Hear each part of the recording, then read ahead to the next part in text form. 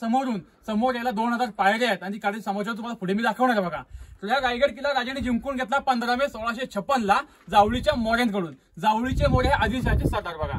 छत्रपती शिवरायांनी किल्ला जिंकून घेतला किल्ला बांधायला चौदा वर्ष लागली चौदा वर्षामध्ये किल्ला बांधणारा आलकडे एक हिरोजी इंदोळकर. त्यांनी पंधरा मे सोळाशे छप्पन ते सोळाशे सत्तर चौदा वर्षामध्ये किल्ल्यावरती काय काय बांधलं? तर साडेतीनशे इमारती अकरा पाण्याची तलाव आणि चौऱ्याऐंशी पाण्याच्या टाक्या. तुम्ही सगळे आता रोपवेने पाच मिनिट किल्ल्यावरती आलात किल्ल्याची मागची बाजू आहे. शंभर पायऱ्या झाल्यात फक्त. शंभर पायऱ्या चढून थकून गेलात ना दमच्या खाली पण तुम्हाला प्रश्न पडलाच असेल की गडावरती या साडेतीनशे किंवा काय आपण इमारती पाहतोय? या इमारती बांधण्याकरता दगड आला कुठून? हा दगड काय गडाच्या पायथ्याहून गडावरती आणणं शक्य नव्हतं. राजे हुशार राजे ग्रेट राजे बुद्धिमान. राजेने काय केलं? एका दगडात दोन पक्षी मारले. गडावरती आल्यानंतर पहिल्यांदा पाण्याची अकरा तलाव खोदली. चौऱ्याऐंशी पाण्याच्या टाक्या खोदल्या. टाक्या आणि तलावातून जो खडक निघाला तर किल्ल्याच्या बांधकामाला वापरला बघा. झालं काय? किल्ल्यावरील लोकांना पिण्याच्या पाण्याची सुविधा म्हणून पहिलं तलाव झालं आणि किल्ल्याच्या बांधकामाला दगड मिळाला बघा. आज आपण बांधकाम करतो विटांमध्ये आणि वीट जॉईन करतो आपण सिमेंट आणि वाळूने. महाराजांच्या काळात दगडी इमारती जॉईन करण्यासाठी यामध्ये मटेरियल आहे चुना.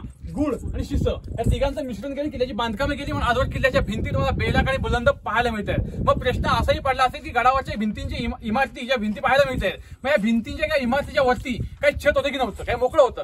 छत होतं. छत होतं सागवणी लाकडाचं छत. त्यावरती कुंभाराची कौलं. आतमध्ये इमारत चालवायला पैठणी कापड होते बघा. पण महाराजांच्या नंतर रायगड किल्ल्यावरती सतराशे तेहतीस ला पेशवे आले. सतराशे तेहतीस ते अठराशे अठरा हे वास्तव पेशव्यांच्या गडावरती होतं. अखेर दहा मे अठराशे अठरा मध्ये इंग्रजांचे दोन अधिकारी मेजर हॉल कर्नल प्रहतर दोन ब्रिटिशांनी रायगडाच्या खालून गडावरती तोफेचा मारा गेला बंबारी केली. गडावरची सगळी दारुगोळा कोठारा उद्ध्वस्त केली. ती पेटपूर्ण किल्ल्यावर पसरली गेली आणि इतिहास नोंदीप्रमाणे रायगड किल्ला अकरा ते बारशा जळून खाक झाला. त्या हल्ल्यामध्ये गडावरची सगळी लाकडी शेतं लाकडी इमारतींचे अवशेष जळून नष्ट झाले. पाहायला मिळतील फक्त भिंतींच्या पडक्या इमारती बघा. हे आपलं दुर्दैव आपण पडक्यावर पाहतो बघा. ज्या दरवाजाने तुम्ही प्रवेश केला तो दरवाजा मेणा दरवाजा. मेणा म्हणजे तुम्ही पालखी ऐकल्या का कधी? पालखीचा प्रकार. मेणा हा पूर्णपणे बंद आणि पालखी पूर्णपणे उघडी मोकळी असते. महाराजांच्या राण्या किंवा राजघरातील स्त्रिया सायंकाळी किंवा सकाळी सूर्यास्त किंवा सूर्योदय पाहण्याकरता मेणामध्ये बसून त्या दरवाजाच्या पाठीमागे येजा करायच्या म्हणजे मेणा दरवाजा म्हणतात ज्या इमारतीमध्ये आपण बसलो त्याला म्हणतात राणी महल. सगळ्यांना माहिती आहे राजांना राणी किती होत्या? राजांना राण्या होत्या आठ. आठ राण्या काढण्याचं कारण होतं की त्यावेळेस राजाचं साम्राज्य कमी होतं. स्वराज्य वाढवण्याकरता मोठ्या मोठ्या घरांतल्या मुलीशी लग्न केली. सोयी संबंध वाढवले बघा. राजांनी राण्या केल्या आठ पण रायगडावरती फक्त सहाच राण्यांची घरं आहेत. त्याचं कारण असं आहे की महाराजांची पहिली राणी पट राणी सईबाई. सईबाई म्हणजे संभाजी राजांच्या आई. त्यांचं निधन झालं राजगड किल्ल्यावर. रायगड किल्ला जिंकून घेण्याआधी बघा. आणि महाराजांच्या तीन नंबर राणी साहेब आहेत पुतळाबाई साहेब. या गडाच्या पायथ्याला जिजाऊ महासाहेबांच्या सेवेसाठी राहायच्या बघा. म्हणजे एक राणी गडाच्या पायथ्याला एका राणीचं निधन आधी झालं होतं आणि उर्वरित सहा राण्या रायगडावरती. त्यापैकी हा एका राणीचा एक महल आहे. मला आठही राणीची नावं सांगतो. सईबाई सोयराबाई सगुणाबाई सकवारबाई काशीबाई लक्ष्मीबाई गुणवंताबाई आणि पुतळाबाई अशा आठ राण्या होत्या. आणि त्यापैकी सहा राण्या रायगडावरती राहायच्या. आता आपण पुढचा धान्याच्या कोठारा बघायला पुढे जाऊया. मला छत्रपती शिवाजी महाराज की. जय.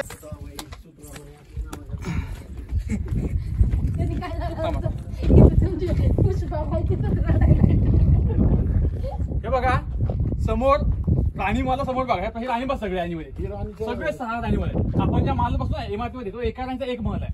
पण प्रत्येक राणी महलच्या समोर तुम्हाला असं एक आडवा चौतरा पाहायला मिळेल बघा. लाईनीमध्ये सहा चौतरे आहेत.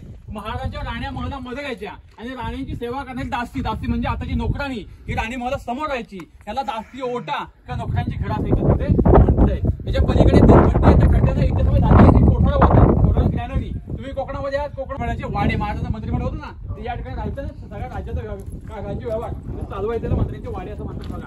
आता धान्यांची कोटाला पाहून घ्या पाहताना आपला व- सगळ्या वस्तू सुद्धा पहा.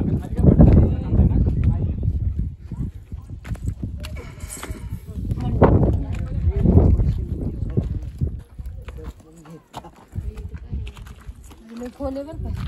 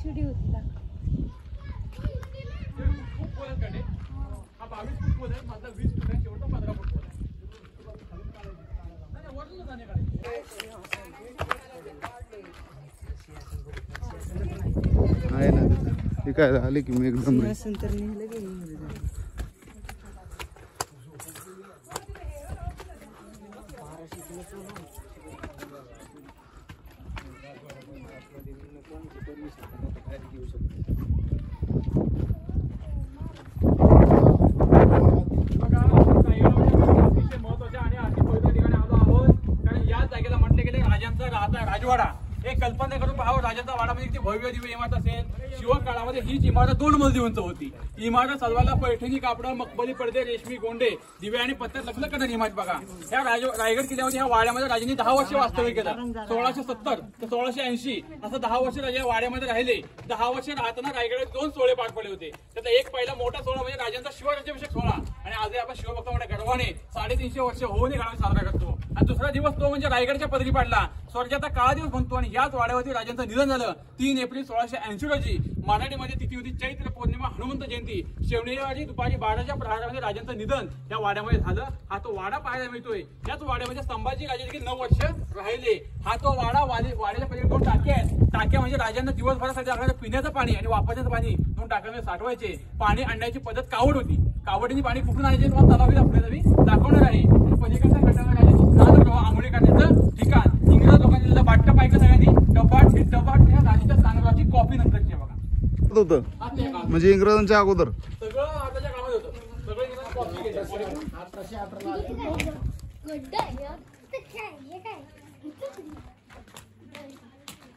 हे.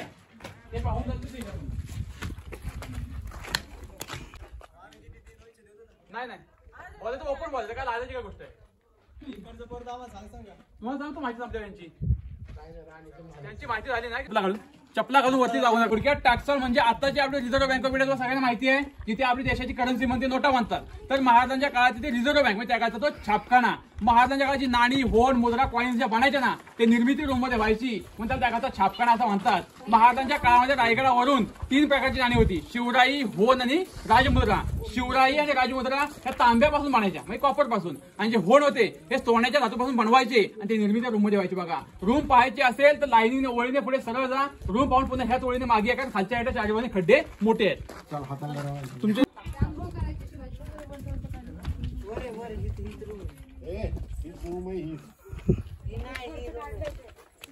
वर आहे ना मामा?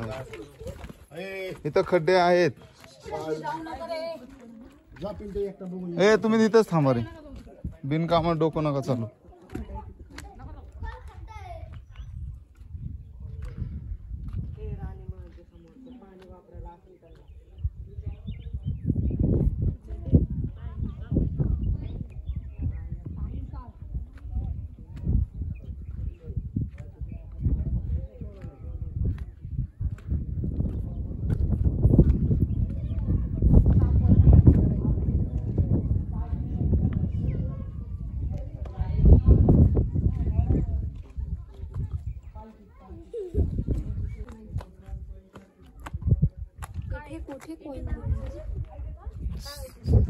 हे सगळं टाकसाळ बनवत होते.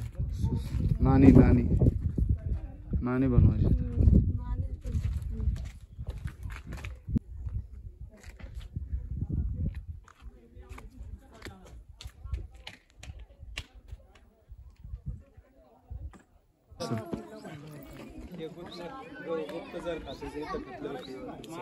ठीक आहे चेंबर ऑफ सिक्रेट डिस्कशन मावळे ए इकडे जास्त घुसू नका रे जास्त पुढे जाऊ नका मोबाईल मध्ये. काय नुसतं इतिहास बघावं लागतंय मराठी.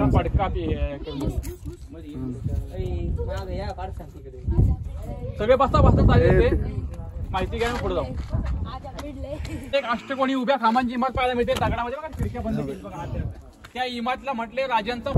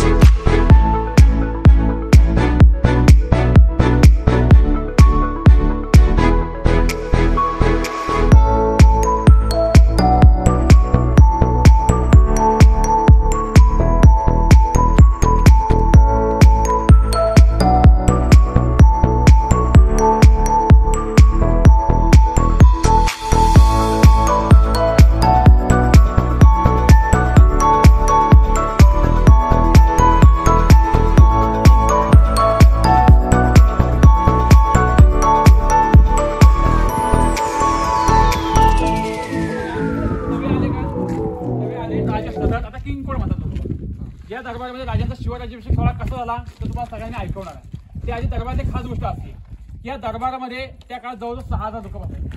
तर सहा हजार लोकांमध्ये बोलण्यासाठी माईक स्पीकर काय होतं का? लाईटच होती पहिली म्हणजे. तरी सुद्धा महाराजांनी सिंहासनावरती बसून काय हलक्या आवाजामध्ये भाषणं केली तर राजेंच्या त्या भाषणाचा आवाज शेवटच्या बसलेल्या व्यक्ती स्पष्ट ऐकायला त्या कोपऱ्यामध्ये बसलेल्या व्यक्ती कानामध्ये खुजबुजला त्याची कुजबुज राजाच्या कानावर स्पष्ट ऐकायला जायची अशा दरबारची रचना केली सापरा आता त्या काळामध्ये दरबार पॅक बंद होता? आज पॅक बंद आहे का? नाही. आज ओपन आहे. पण आजही तुम्हाला त्याला प्रात्यक्षिक दाखवणार आहे. मी समोरच्या गेटमध्ये जाऊन काही छोट्या मोठ्या घोषणा देईल घोषणा ऐकायला आल्या तर मला मोठ्यावर रिप्ले द्या. मी त्या ठिकाणी जाऊन साधा कागद फाडेल आता कागद फाडायला केवढा सगळं माहिती आहे. कागद फाटण्याचा आवाज स्पष्ट ऐकायला आला तर सगळ्यांनी आपल्या राजांसाठी टाळ्या वाजवा. पण त्याआधी आपण दरबारची पूर्ण माहिती घेऊया बघा. या ठिकाणी समोर तुम्हाला महाराजांची मूर्ती पाहायला मिळते. ही मूर्ती या ठिकाणी आता बसलेली आहे सहा जून. दोन हजार नऊ मध्ये कोल्हापूरचे युवराज छत्रपती संभाजीराजे महाराजांचे तेरा वारसदार त्याने या मूर्ती स्थापना दोन हजार नऊ मध्ये केली. मूर्तीच्या वर छत्र पाहायला मिळते आणि ह्या छत्राची स्थापना एकोणीसशे पंच्याऐंशी मध्ये झाली बघा. पण याच ठिकाणी आपल्या राजांचा राजांच्या काळामध्ये बत्तीस मन सोन्याचं सिंहासन होतं. आता वजनामध्ये विचार करा. एक मन म्हणजे चाळीस किलो. असं बाराशे ऐंशी किलो वजनाचं रत्नजडीत हिरे माणिक मोत्यांनी सजवलेल्या राजांचं सिंहासन या ठिकाणी होतं. जाणकारांचं मते इंग्रज घेऊन लुटून गेले बघा. पण याच ठिकाणी राजांचा राज्याभिषेक झाला. तारीख आहे सहा जून सोळाशे चौऱ्याहत्तर. वार होता शेळीवार राजे सकाळी पहाटे चार वाजताच आपल्या राहत्या राजवाड्यामध्ये उठले. राजाने आपलं स्नान आटपलं अंगावरती शाही पोशाख प्रदान केला. स्वतःच्या आयुष्याला शिवराज्याभिषेक म्हणजे आनंदाचा दिवस. पण राजे कुठल्याही देवदेवतेला मात्र विसरले नाहीत बघा. या ठिकाणी हत्तीच्या अंबारी सजून ठेवली होती. राजे हत्तीच्या आंबाजीमध्ये बसले आणि राजेने पहिल्यांदा जगदीश्वर महादेवाचं दर्शन घेतलं. राजे शिवशंकरची खूप भक्त होते. आई भवानी मातेला साखर घातलं. गडाची कडे देता शिरकाई देवीला वंदन करून राजांची विरोध पुन्हा या पूर्वमुखी दरवाजा समोर थांबली. राजे हत्तीच्या अंबारीमध्ये उतरले. दरबारामध्ये प्रवेश केला. त्या दरबारामध्ये बसले सहा हजार लोक. सगळे सोबत उठले. मावळे सगळे सोबत उठले डोक्याचे सगळे मानाचे फेटे काढले आणि वाकून आपल्या राजांना त्रिवार मानाचा मुजरा घातला. बघा राजाने प्रत्येकाचा मुजरा स्वीकारला आणि आपल्या जे सिंहास्थानासमोर आले. सिंहास्थानाच्या डाव्या साईडला राष्ट्रमाता जिजाऊ मासाहेब मंत्रिमंडळ वगैरे बसले होत्या. उजव्या राजांच्या गाण्या संभाजी राजा राजाराम महाराज आणि काशीवराजे ब्राह्मण गागा पडे होते बघा. पण समोर जाताना राजे या ठिकाणी थांबतायत आणि राजांची एक नजर पडली. त्या बत्तीस मन सोन्याने भरल्या सिंहासनाच्या गादीवरती. मात्र राजांची दुसरी नजर पडली. साईडला बसल्या त्या अठ्याहत्तर वर्षाच्या आपल्या मातेच्या म्हणजे आपल्या आईच्या डोळ्यावरती. त्या श्रेणीच्या मातेच्या डोळ्यातून अखेर आनंद अश्रू ओघळत आहेत मग विचार करता मातेच्या डोळ्यातून आनंदाचे अश्रू ओघण्याचं कारण तरी का असेल त्या अन्न असण्याचं कारण होतं. कारण होतं की चिवणीच्या मातीमध्ये खेळणारा रांगणार माझा वा शिवा हो मातीच्या कडे किल्ले बांधणारा माझा बाळ आला खंड हिंदुस्थानचा राजा होणार आहे. त्या मातेचा किती आनंद झाला असेल ती कल्पना करून पहा. पण राजांची एक नजर या सहा हजार लोकांमध्ये पडली. सहा हजार लोकांमध्ये पाहताना राजांचं स्वतःचा अंतकरण भरलं राजांचं हृदय भरलं. आता राजांची आत्महत्या विचार करा की स्वतःच्या आयुष्याचा एवढा मोठा आनंदाचा दिवस. मग राजांचा अंतकार भरण्याचं कारण तरी काय असेल? कारण होतं की या सहा हजार लोकांमध्ये पाहिलं तर जीवाभावाचा एकही मावळा आणि एकही सरदार या वीर मावळ्यांच्या ज्या शूर सरदार जेव्हा हिंदवी स्वराज्य घडवलं त्याचा जीवाभावाचा एकही मावळा आणि एकही सरदार हा आनंदाचा दिवस पाहायला उपस्थित नव्हता बघा. पाहायला मिळाल्या त्यांच्या विद्वान बायका. आणि त्यांच्या मांडीवरची तानी लेकर हे पाहून अंतकरण भरलं नाही लटत त्या पायने भरलेल्या अंतकरणाने सिंहासनाची पहिली पायरी चढता आपल्या आईला नक्कीच म्हटले असेल की आऊ साहेब हिंदवी स्वराज्याची पहिली पायरी चढतो ना. तो म्हणजे माझा ताणा की आधी लेकिन कोंढाण्याचा आणि मगच माझ्या रायबाचा म्हणणारा माझा तानाजी मालुसरे हा आनंदाचा दिवस पाहायला उपस्थित नाही. दुसरी पाहिजे तर तो माझा प्रतापराव गुजर का नेसरीच्या खिंडीमध्ये नुकताच मारला गेला माझा प्रतापराव. तिसरी पाहिजे तर तो माझा बाजीप्रभू देशपांडे की राजा लाख मिळत जातील मग लाखाचा पोशिंदार जगलाच पाहिजे असे म्हणणारे बाजीप्रभू मी पाहायला मिळत की होता शिवा म्हणून वाचता शिवा. असंख्य वीर मावळे होते. यांनी आपल्या प्राण प्राणांची आहुतीचे स्वराज्य घडवायला. म्हणजे त्या जीवापासून एकही मावळा आणि एकही सरदार. हा आनंदाचा दिवस पाहायला उपस्थित नव्हता. मग राजाचं अंतकरण भरलं होतं. खरं राजाने आपले अश्रू आवरले. कारण राजा रडला ही प्रजा देखील रडणार बघा. भरलेल्या अंतकरण राजे सिंहासनावर अरुळ झाले. काशीच्या काका भटांनी सात नद्याच्या पाण्याने राजाने अभिषेक घातला. एक हजार सोन्याच्या मोहरा उधळल्या आणि त्याच वेळी दरबारामध्ये असलेले एक शाहीर ललकारी करतोय. ललकार तुम्हाला मी ऐकतो शेवटचा सगळ्यांनी जय बोलत आहे. महाराज प्रौढ प्रताप पुरंदर क्षत्रिय कुला वतांस सिंहासनाधीश्वर महाराजाधिराज राजा शिव छत्रपती श्री शिवाजी महाराज की. जय भवानी. जय शिवाजी. महादेव. काढून राजा मुद्रा करतोय. इंग्रज. पाहिलं का? इंग्रजचं नाव हेनरी ऑक्झेंटर. रायगड किल्ल्यावरती शिवराज्याभिषेकाला पाहुणा म्हणाला.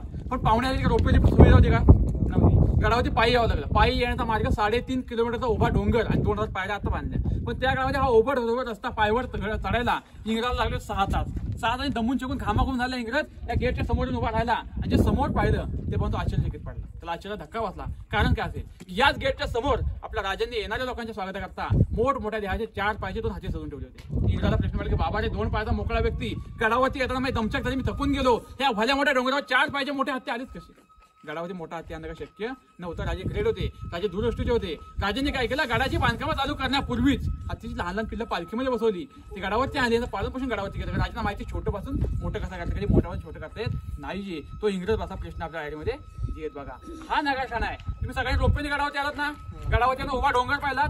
त्या डोंगराने ती माता आपल्या बाळासाठी खाली उतरून गेली. तो हिरक्यांचा काढा आहे. ते बुरुज शेवटा पश्चिमकडे आहे. त्या हिरक्यांची कविता मध्ये ऐकवतो बघा. रायगडावर राजधानी ती होती शिव छत्रपतींची आणि कथा अजूनही ऐकू येते. तेथील हिरकणी बुरुजाची वसले होते गाव तळाशी वालुसरे या नावाचे. आणि राहत होते कुटुंब देते गरीब धनगर गावळ्याचे. आई बायको ताना मुलगा कुटुंब होते छोटेसे. आणि शोभत होते हिरा नाव त्या तडपदार घरवालीचे.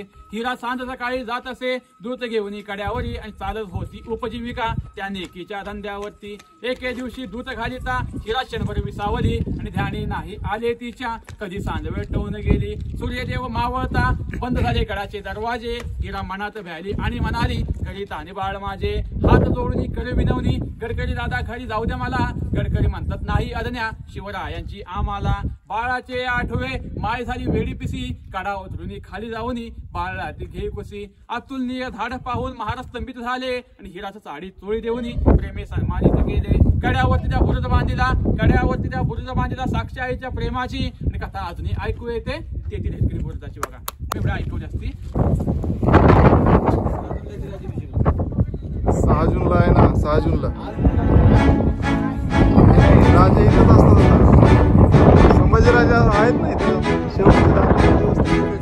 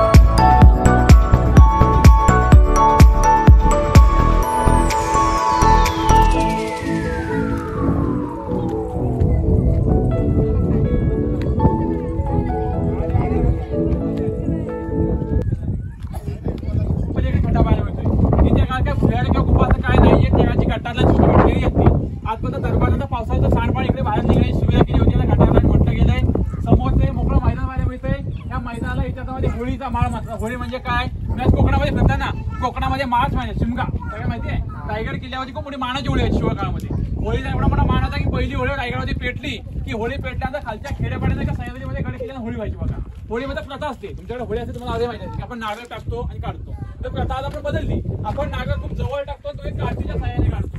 महाराजांच्या काळामध्ये महाराज स्वतःच्या हाताने पेटल्या होळीच्या पेटक्या आगीच्या मध्ये नारळ अर्पण करायचे. जो वीज बाजूस पेटक्या आगीमध्ये हात घालून नारळ बाहेर काढेल अशा वेळाला बक्षीस म्हणून राजे सव्वा किलो सोन्याचा कडा हातातला मानाचा घोडा आणि मानाचा पेटा बक्षीस द्यायचे. अशा होळीतून नारळ काढणारे एकमेव वीर छत्रपती संभाजी राजे महाराजांचे एक नंबर पुस्तक शेर बघतो की मागाच्या जबड्यात घालून आणतं पण ती जात ही जात मराठ्यांची तो काय होळीच्या माळ व्हायचा होळीचा माळ मात्र एकोणीशे चौऱ्याहत्तरमध्ये बसली इंदिरा गांधींनी मूर्ती आणली होती खरं तर आतमध्ये सिंहासनाच्या गाडीवर बसवायला. पण सिंहासनावरती न बसवता इथे बसल्याचं कारण आहे की मूर्तीचे शिल्पकार गणेश पाटकर सहसा होते मूर्ती सुंदर आहे पण मूर्ती एक चूक आहे गणेश चूक अशी आहे की महाराजांच्या मूर्तीच्या पायामध्ये मला चपला पाहायला मिळते आणि आपल्या राजा सिंहासनावरती बसताना कधी पायामध्ये चप्पल घालत नव्हते म्हणून मूर्ती मध्ये बसवता इथे एकोणीशे चौऱ्याहत्तर बसवली बघा मूर्तीच्या वरती छत्र आता बसवलं कोपरावरती किंवा कोणावरती पांढऱ्या पत्र्यामध्ये त्या पत्र्याच्या इमारत नाव आहे हत्ती खाना महाराजांच्या काळात हत्ती लहान लहान गडावरती आणले त्यांचा सांभाळ गडावरती केला त्या इमारतीमध्ये त्याला हत्ती खाना म्हणतात पण ते आता गव्हर्नमेंट ऑफिस आहे तेव्हा तुम्हाला पाहायला मिळणार नाही समोर ती दुसरी इमारत म्हणतात बाजारपेठ बाजारपेठ आपल्या मॉलपेक्षा मोठी आहे आठशे फूट लांब चाळीस फूट रुंद डाव्या साईडला बावीस आणि उजव्या साईडला बावीस दुकान एकूण दुकान चौतीस बघा दुकानामध्ये फक्त तीन रूम आहेत एका दुकानात तीन रूम आगे दुकान पिछे मकान आणि पिछे समोरच्या ठिकाणी दुकानदार दुकान मांडायचं मधल्या रूममध्ये आपण सामान साठवायचं मागे कुटुंबासह राहायचा पण बाजारपेठची हाईट ही जमिनीपासून घोड्याच्या उंचीची आहे आता सर्वसामान्य लोक काय करतो चालत खरेदी करतो महाराजांच्या काळात लोक रुबाब जातात आवडे घोड्यावरती बसूनच खरेदी करता यावी पण ही उंची घोड्याच्या उंचीची गेली पाहायला मिळते त्यामुळे काय तुम्ही शेवट पुढे गेला तुम्ही एवढं मंदिर पाहायला मिळतंय पण मंदिराची रचना होते तुम्ही एखाद्या भुवनेश्वर महादेवाचं मंदिर आहे महादेवाच्या मंदिराची रचना का तुम्हाला प्रश्न पडला असेल? तर त्याचं कारण आहे त्या काळचे मोगल.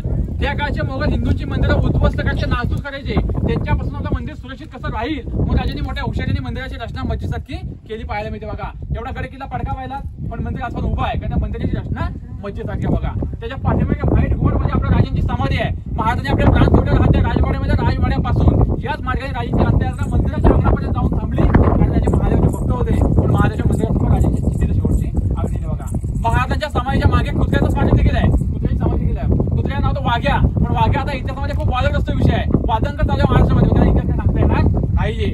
समाजाच्या मंदिरामध्ये गेट आहे. त्या गेटच्या दोन नंबर पायरीमध्ये ज्याने हा किल्ला बांधला त्या किल्ल्याच्या आडकडेचं नाव. दोन नंबर पायरीत पडले सेवेचे ठाई. तत्पर हिरोजी इंदोरकर बघा.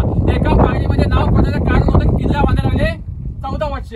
चौदा वर्ष राजे काही गडावर थांबले नाही. राजे काही पैसा हिरोजीकडे दिला. किल्ला कसा बांधायला सांगत राजा मोहिमेला निघून गेले. मोहिमेला गेल्यानंतर दिलेला पैसा अर्धवट राहिला. बांधकाम संपून गेला बांधकाम अर्धवट राहिलं. आपल्या कामावर काय करेल पैसा आपलं काम थांबेल पैसे काम चालू करू. हिरोजीने काय असं केलं नाही. हिरोजीने आपलं घरदार विकलं जागा जमीन विक्री गडावरती सहकुटुंब एका झोपडीमध्ये राहिले. एका झोपडीमध्ये स्वराज्याची राजधानी उभी केली. जेव्हा राजाने विचारलं हिरोजी तुम्हाला बक्षीस म्हणून आम्ही काय देऊ? हत्ती घोडे सोनं धन दौलत जागा वतन जे पाहिजे त्या मग आम्ही तुम्हाला आज देणार आहोत बघा. पण हिरोजी म्हणते राजामध्ये एवढं काही नकोय. या जगदीश्वर मंदिराच्या गेटच्या दोन नंबर पाहिजे म्हणजे आम्हाला म्हणतो तेवढं नाव करू द्या बघा. राजा बोलते तुमचं नाव कोरा आहे तर तुमची कामगिरी उत्तम आहे. नाव कोरा. पण कोणत्या उंच भिंतीवर कोरा एका पायरीमध्ये का त्या हिरोजी मोठ्या आधाराने सांगते राजे जसे तुम्ही शिवशंकर महादेवचे बघतात ना तसं मी तुमचा बघताय जेव्हा जेव्हा तुम्ही राजगडावरती येणार तेव्हा जेव्हा तुम्ही मंदिरामध्ये दर्शनासाठी येणार आहात. त्या मंदिरामध्ये दर्शन घेऊन आम्ही पुढे जाण्यासाठी जात ह्या गेटच्या मध्ये पाय ठेवून तुम्ही पुढे जाणार. तेव्हा तुमच्या पायाची पायधूळ ही माझी मस्तकी वाढावी. तुमच्या चरणाची धूळ माझ्या मस्तकी लागावी. या उद्देशाने माझ्या पायरीमध्ये नाव पाहिजे सेवेचे ठाई तत्पर अशी लोक राजगडामध्ये बोलते बघा. धन दौलत मिळाली असती पण आजवर राहिली असती का? सगळं संपूर्ण येत असतं. दगडामध्ये कोरलेले चार असे आजही पाहायला मिळतात बघा. त्याच्याखाली किल्ल्याची गॅरंटी लिहून दिली की जोपर्यंत आकाशामध्ये चंद्र सूर्य आणि तारे आहेत तोपर्यंत गडावरची बांधकाम अभ्यत राहणार आहेत. त्या बांधकामाला धक्काही लागणार नाही बघा. एवढ्या वर्षाने आपण गडावरती आलो इंग्रजांनी छ- हल्ला केला छत जाळली म्हणून जोडून गेली. पण इमारतीचे अवशेष पाहायला मिळतात ना?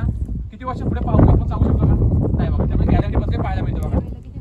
आता या ठिकाणी आपली माहिती संपते माहितीच नाही कला जाती मथुरा मे मस्जिद वस्ती. अगर नाव ते शिवराय. तर सुन्नत सबकी होती सुन्नत सबकी होती. दुसऱ्या शेती आईवर नाही की जिजाऊ मासाहेब की जिजाऊ मासाहेब तुम्ही जन्माला आल्या नसता तर कधीही दिसली नसते आपल्या अंगणामध्ये तुळस. तर शिवराय तुम्ही जन्माला आले नसता तर कधीही दिसले असते मंदिरावरचे उंच उंच कळस तिसरा असं आहे कसल्या विना धार नाही कसल्या विना धार नाही तलवारच्या पातीला आणि शिवजयंतीचा विना अर्थ नाही महाराष्ट्राच्या काळ्या मातीला आणि अखेरचा शेत एवढा सांगेल अंधार झाला अंधार झाला पाहता एक दिवा पाहिजे. आता या महाराष्ट्राला नव्हे त्या देशाला पुन्हा एकदा जिजाऊचा शिवपास पाहिजे पुन्हा एकदा जिजाऊचा शिवपास पाहिजे पुन्हा एकदा जिजाऊचा